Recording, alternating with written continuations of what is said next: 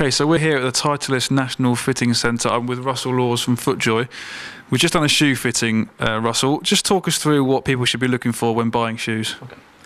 One thing that we believe in is the mantra of shoe fitting, professional shoe fitting. Um, everyone thinks they know what size they are, um, but the research that we've done shows that around 80 to 85% of people are in the wrong size shoe. So we believe that everyone should be professionally shoe fitted. Um, one thing we use is the Brannock device, which which I've just used with yourself. Yeah. Um, it's the industry standard for shoe fitting. It it will show um, heel to toe length, it shows arch length, and it'll also show the width of the foot.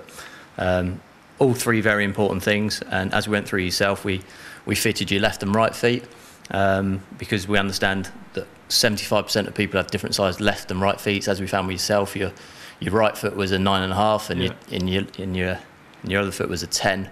Um, so it's just important for us to understand correct fitting shoes are going to help you perform better yeah. better on the golf course. And uh, here we've got two different FootJoy models, very different styles. Just talk us through the benefits of each of those okay. for the consumer. No worries.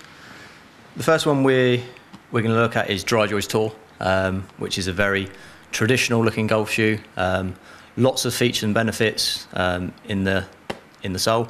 Um, you know, this shoe is all about stability. Um, the four the four cleats on the sole, again, that's going to give you very good traction on, on the ground. So it's going to give you a stable hitting platform to hit from.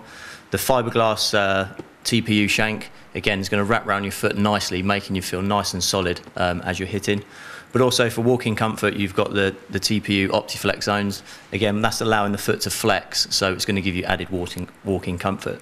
Um, in the uppers of the shoe, we use ECL leather, which is extreme comfort leather. Um, again, a very comfortable shoe, a very stable shoe. Um, you would have noticed when you put the shoe on, there's two different openings between this and the M Project. This is what, what, what we've called a, a V throat. So it's a slightly narrower opening to the shoe.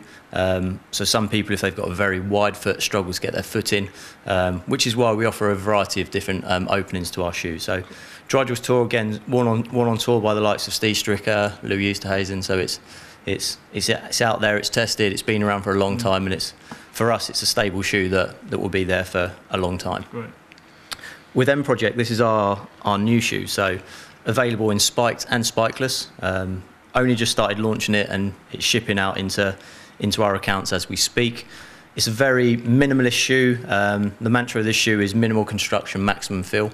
Um, we want to get the, the golfer closer to the ground just to understand a little bit more about what's going on underfoot. Um, if you take a look at the bottom of the shoe, again, less spikes. The way the placement of the spikes are designed is to help the golfer get through the ball. Um, you know, those players who get stuck on their right side, um, DryJoys Tour, for example, might not be a great shoe for them because it's making them too stable. Um, they might need help to get through the ball. M Project is a shoe that's going to help you transition perfectly through the ball. We found that people found they were really rolling over onto their left side, which is ideal for those those kind of players. The leather, again, is a very thin but very strong leather, um, lightweight, which is what the shoe's all about.